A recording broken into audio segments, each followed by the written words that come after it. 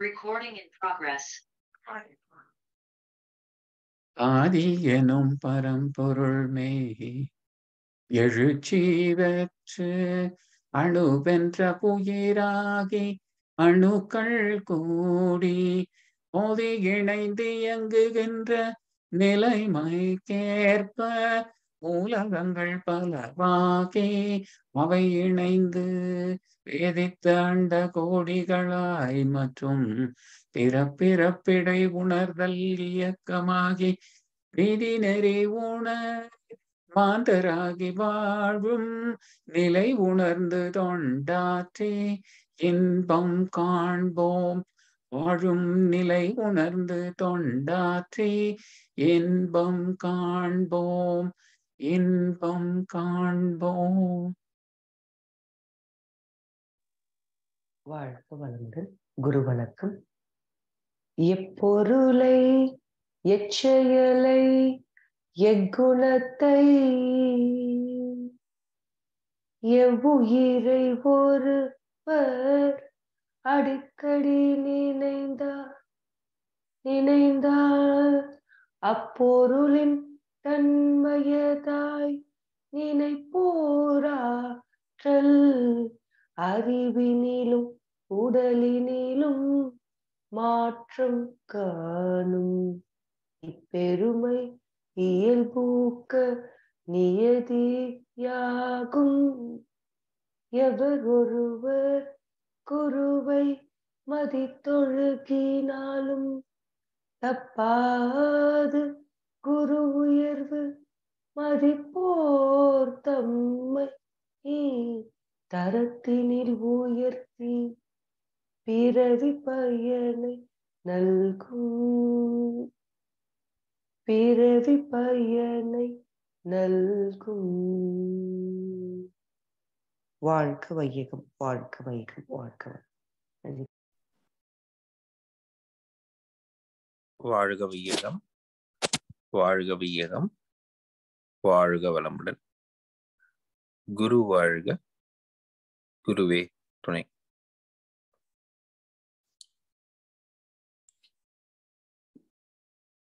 நம் மனித உடல் பல உறுப்புகளால் ஆனது. அதை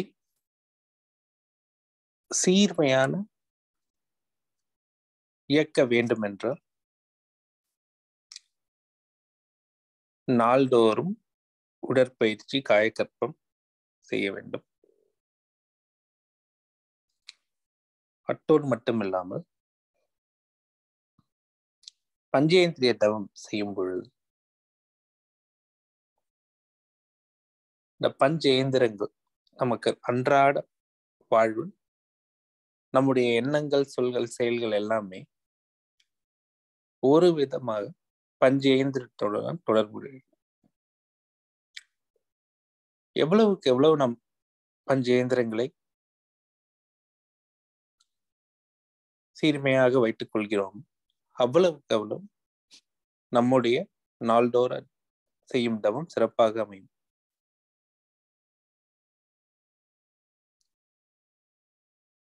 தொடர்ந்து தவம் செய்வோம். பஞ்ச இயந்திரத்தை நம் கட்டுக்குள் வைக்க பழகிக்கொள்வோம். அவ்வகையில் இன்று ஆழ்ந்த பஞ்சேந்திரிய தவம் நடத்திய அருள்நிதி சிவசங்கரி அம்மா அவர்களை வாழ்த்துவோம். அருள்நிதி சிவசங்கரி அம்மா அவர்கள் வாழ்க வளமுடன். அவர்களின் அன்பு குடும்பம் வாழ்க வளமுடன். அவர்களின் உடல் நலம் வாழ்க வளமுடன். அவர்களின் ஆன்மீக தொண்டு வாழ்க வளமுடன். வாழ்க வளமுடன். வாழ்க வளமுடன் வாழ்க வையகம் வாழ்க வையகம் வாழ்க வளமுடன். குரு வாழ்க குருவே துணை ஆசான் அருட்தந்தை வேதாத்ரி மகரிஷி அவர்கள் நம்மோடு சுக்குமமாக நிறைந்திருந்து நம்மை என்றென்றும் வழி நடத்துவாராக. இன்றைய காலை அமர்விலே இணைய வழியே இணைந்துள்ள இருபால் மெய்யன்பர்களுக்கும் இனிய காலை மாலை வணக்கங்கள். வாழ்க வளமுடன் என்ற வாழ்த்துக்கள். நிகழ்வின் துவக்கமாக ஆழ்ந்த தவம் இயற்றி மகிழ்ந்தோம். அந்த தவம் தந்த அமைதி நிலையிலேயே இன்றைய ஞானக்களஞ்சிய கவி. வினையும் விளைவும் என்ற தலைப்பில மகரிஷி கொடுத்திருக்கக்கூடிய பாடல்கள்ல ஒன்று. செயல் விளைவு உணர்கல்வி. வேதாத்திரிய திட்டங்கள்ல ஒன்று. உலக அமைதிக்கான உன்னத திட்டங்கள்ல ஒன்றாக மகரிஷி கொடுத்திருக்காங்க. தெய்வ நீதி வழிவாழ்தல் இது போல பதினான்கு திட்டங்கள்ல அந்த இறை உணர்ந்து வாழணும்னா அதற்கு மனிதன் தெரிந்து கொள்ள வேண்டிய ஒன்று செயல் விளைவு உணர்கல்வி அப்படின்னு சொல்றாங்க. வினைக்கு விளைவுண்டு. அது தெரிஞ்சு நடக்கும்போது அந்த வினை எந்த காரணத்தை கொண்டு செய்கின்றோமோ அதற்கு ஏற்ப விளைவு வரும். சாதாரணமாக பக்தி யோகத்திலையும் சரி நம்முடைய முன்னோர்கள் வாழ்க்கையிலேயே பல விஷயங்களை நமக்கு நன்மைக்கு புகட்டினாங்க. இப்ப சொல்லுவாங்க இல்லையா? நாம செய்யற செயல் ஒரு சிவற்றில் அடித்த பந்து போல எந்த வேகத்துல அடிக்கிறோமோ அதே வேகத்துல நமக்கு திரும்பி வரும். அப்போ நாம் செய்த செயல்களுக்கான விளைவுகளை அனுபவித்தே தீரணும் அப்படிங்கிறத தான் பல வேதமும் புராணமும் கதைகள் மூலம் வாழ்க்கை உதாரணங்கள் மூலம் நமக்கு சொல்ல முற்பட்டாங்க. ஆனா அவை எல்லாமே பயிற்சியாக கொடுக்கப்படாததுனால அது நம்ம வாழ்க்கையில ஒழுக்கமாக பின்பற்ற முடியல. மகரிஷி தான் இந்த தத்துவங்களை விளக்குவதற்கு முன்னாடி நமக்கு அதை கேட்டு அதை உணரக்கூடிய அளவுக்கு மன அமைதி கொடுக்கக்கூடிய தவத்தை கொடுத்துட்டு அதற்கு அப்புறம் இந்த தத்துவத்தை கொடுக்கறாங்க. அப்போதானே அது விளங்கும்.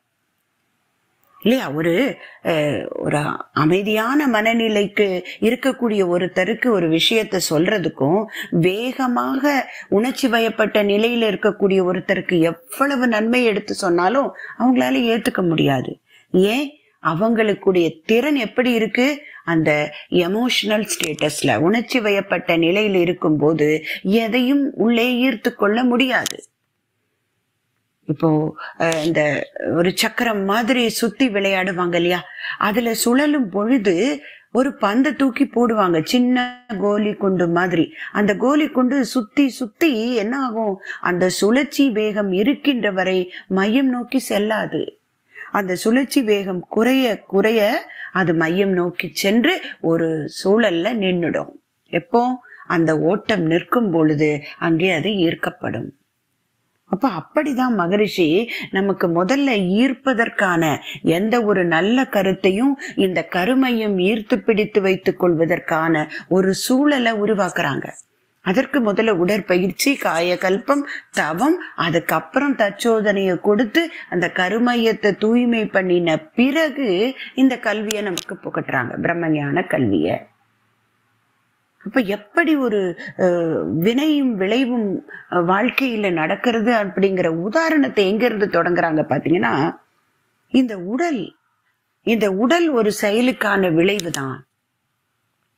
இயற்கை என்ற பேராற்றல் மனித குடல் அதனை எத்தனையோ காலமாக ஏற்ற நுட்பத்தோடு வயிற்றினிலே வைத்து பல லட்சம் தலைமுறைகளாக வடிவமைத்து அளித்துள்ளது. அது ஒரு செயல் அதற்கான விளைவு இந்த உடல். ஆறாவது அறிவு படைத்த மனித உடல். அந்த உண்மையை மறந்துட்டோம் அப்படிங்கிறாங்க மகரிஷி. எந்த காரணத்துக்காக இந்த உடல் படைக்கப்பட்டது? அந்த பேராற்றல் நூத்தி இருபது ஆண்டு காலம் வாழணுங்கிறதுக்காக பல வருடம் வயிற்றினிலே வைத்து வடிவமைத்து கொடுத்துள்ளதாம். அப்ப அது வினைக்கு ஏற்பட்ட விளைவு. ஆனா இந்த விளைவு தெரியாம இந்த உண்மை மறந்து முயற்சியினை மனிதன் தன்முனைப்பில் ஆழ்த்தி இன்பம் மிகையாக எவ்வொரு பால் துய்த்து கெடுத்தாலும் பயிற்சி தரும் பாலம் போல் பாடம் போல அவ்வுறுப்பின் வழியே பல நாட்கள் வருந்த ஏற்ற நோய் விளையும் அறிவோம். அப்போ வினைக்கு ஏற்பட்ட விளைவை உணர்ந்து செயலாற்றலேனா? அது மாறான விளைவை கொடுத்துடும்.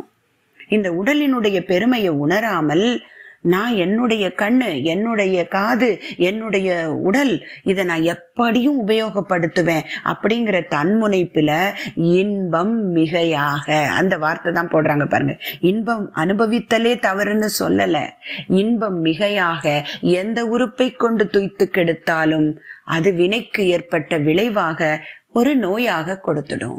அப்ப உடல்ல இருந்து தொடங்குறாங்க. இந்த வினை விளைவு தத்துவத்தை நமக்கு உணர்த்துவதற்கு. அப்படி உணரும்போது தானே நமக்கு தெரியுது ஒரு நாள் அதிகமாக சாப்பிட்டுடுறோம். கொஞ்சம் அந்த உணவின் மேலே ஏற்பட்ட ஒரு ஈர்ப்பு அடுத்த நாள் வயிற்றில் பிரச்சனை அப்போ உடனே ஆராய்ச்சி பண்ணுற மனநிலைக்கு மகரிஷி நம்மளை கொண்டு போகிறாங்க ஏன் இந்த அவஸ்தை?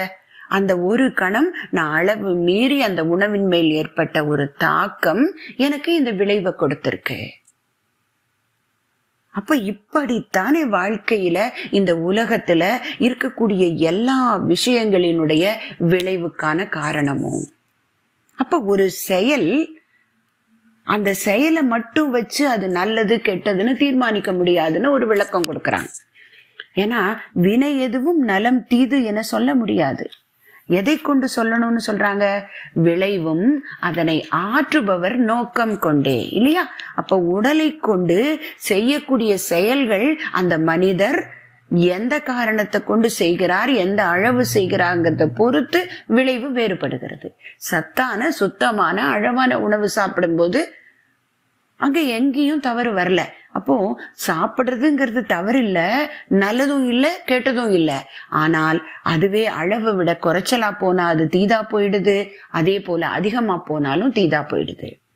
அப்போ விளைவும் அதனை ஆற்றுபவர் நோக்கம் கொண்டே வினை அதனை நலம் தீது என பிரிப்போம். அப்போ இப்படித்தானே இந்த உலகத்துல இருக்கக்கூடிய எல்லா மக்களும் செயலை செய்துட்டு வராங்க. அப்போ அந்த ஞானம் இல்லாமல் அவங்க செய்யக்கூடிய செயலினுடைய விளைவு அவங்களுடைய கருமையத்துல பதிந்து அவங்களுக்கு ஒரு அடையாளத்தை கொடுத்துடுது. ஆனால் அதை வச்சு நாம என்ன பண்ணிடுறோங்க? ஒருத்தர் தவறானவர் அப்படின்னு முடிவு செய்து அவங்கள வெறுக்க தொடங்கிடுறோம். ஆனா உள்ளதை உணர்தல் கூட வினை விளைவு உணர்கல்வி அப்படின்னு சொல்றாங்க. அங்கே உள்ளது என்ன? அதுதான் இன்றைய பாடலுடைய சிறப்பு பாருங்க. சாயமிட்ட கோழிகளை தனி இருட்டில் பார்க்க சமமாக அத்தனையும் தரும் கருப்பு நிறமே. கலர் கலரான கோலிங்க அதுக்கு உள்ள அவ்வளவு டெக்கரேட் பண்ணியிருக்கு. ஆனா அத்தனையும் எங்க இருக்கு ஒரு இருட்டு அறையில இருக்கு.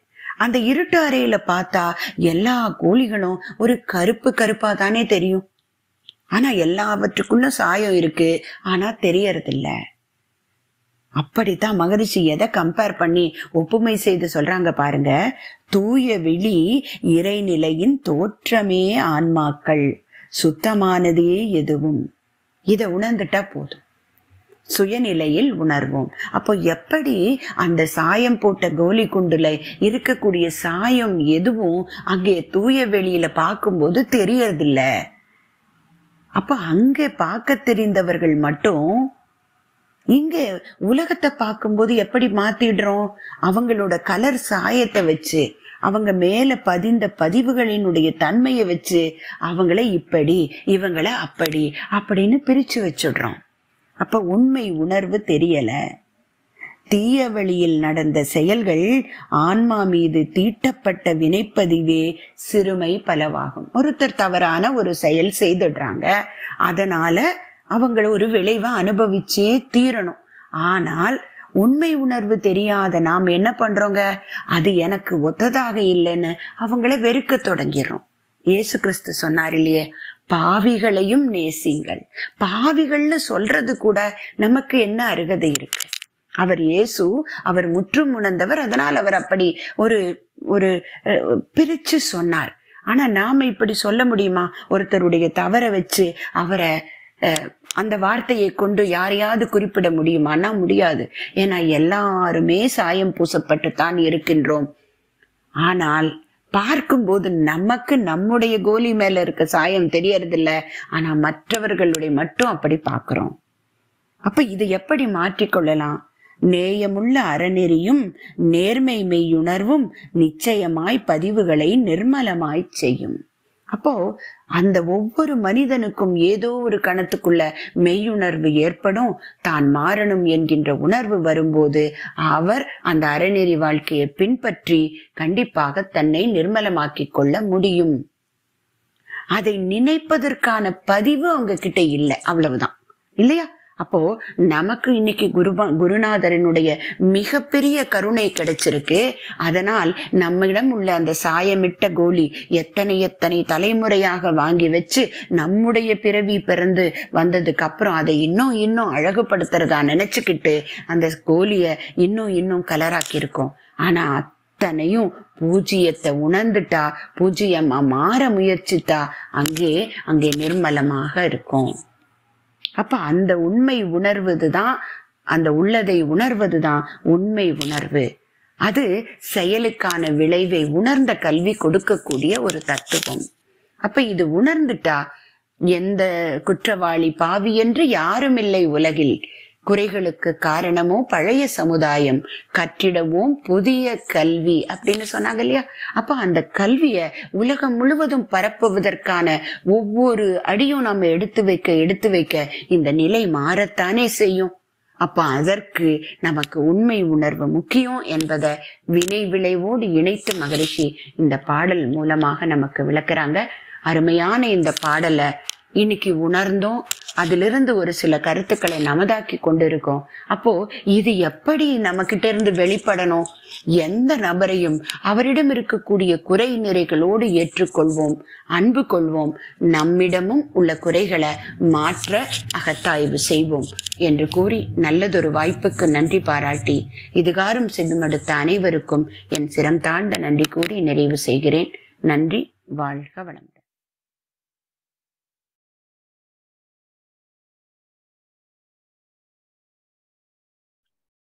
வழிகளுடன் எல்லாரும் ஞானக்களஞ்சிய கவிக்கு செய்த வினை neutral all actions are neutral the result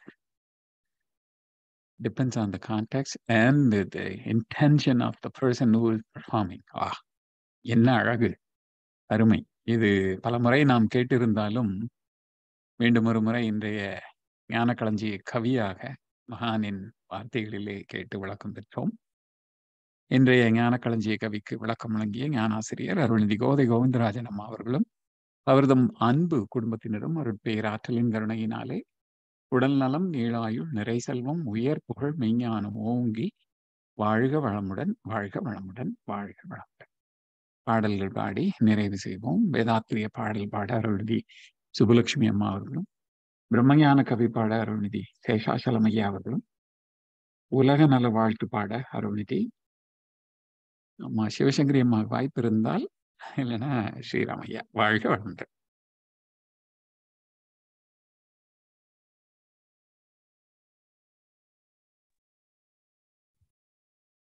வாழ்க வளமுடன் ஐயா. வாழ்க வையகம். வாழ்க வையகம். வாழ்க வளமுடன். போரில்லா நல்லுலகம் பொருள் துறையில் சமநீதி. நேர்மையான நீதிமுறை நிலவுலகு கோராட்சி. சீர் செய்த பண்பாடு சிந்தனையோர் வழிவாழ்வு. சிறப்புணர்ந்த பெண்மதிப்பு தெய்வ நீதி வழிவாழ்தல். தேர் திருவிழா தவிர்த்தல் சிறுவர்கட்கே விளையாட்டு. செயல் விளைவு உணர்கல்பி சீர்காந்த நிலை விளக்கம். பார் முழுவதும் உணவு நீர் பொதுவாக்கல். பல கடவுள் பல மதங்கள் பழக்கம் ஒழித்து உண்மை ஒன்றை தேர்ந்திடுதல். வாழ்க வளமுடன் ஐயா. நன்றிகள் ஐயா. வாழ்க வளமுடன். வாழ்க வையகம். வாழ்க வையகம். வாழ்க வளமுடன். பிரம்மனான கவி. இறைவெளியே தன்னிருக்க சுழந்தெழுத்தும் ஆற்றல் இதன் திணிவு மணிப்பு விழ சுழலும் நுண்விண்ணாம் நிறைவெளியில் விண்சுழல நெருக்குகின்ற உரசல். நிலவெளியில் எழுப்புகின்ற நேரலைகள் காந்தமாம். மறைபொருளாம் காந்தம் தன் மாத்திரைகள் ஐவகை. மலைக்காதீர் விண்கூட்டம் மாபூதம் ஐந்துமாம்.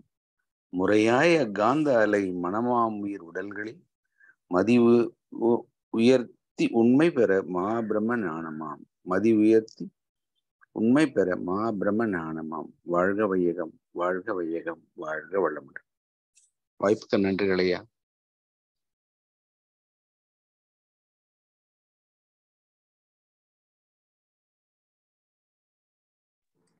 உலக நல வாழ்த்து பாடிடலாம் உலகமெல்லாம் பருவமழை ஒத்தபடி பெய்யட்டும்.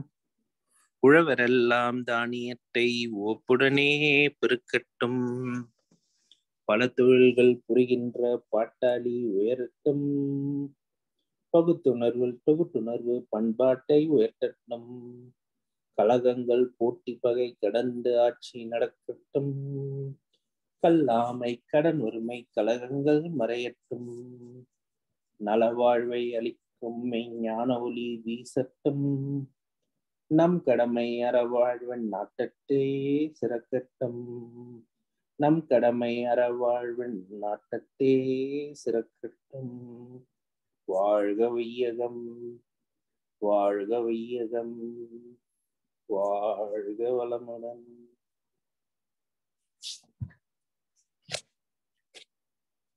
வாழ்க வளமுடன். இன்றைய தவத்தில் கலந்து கொண்ட நண்பர்கள் தவத்தை வழி நடத்தியோர் நச்சிந்தனை வழங்கியோர் பாடல்கள் பாடியோர் அனைவரும் வாழ்க வளமுடன். அவரது அன்பு குடும்பம் உடல் நலம் வளம் பொருள் வளம் அருட்தொண்டு ஆன்மீக தொண்டு. வாழ்க வளமுடன் வாழ்க வளமுடன் வாழ்க வளம் இத்துடன் இன்றைய காலை தவ நிகழ்வு மகிழ்வோடும் நிகழ்வோடும் இனிதே நிறைவு பெறுகின்றது. இறையரோடும் குருவர்கள் நம் அனைவரையும் எப்போதும் சூழ்ந்திருந்து இந்த இறைநிலை உணர் பயணத்திலே நம்மை சிறந்த முறையிலே வழிநடத்தி என்று அனைவரையும் வாழ்த்தி வணங்கி நன்றி கூறி அமைகிறோம். வாழ்க வளமுடன் வாழ்க வளமுடன் வாழ்க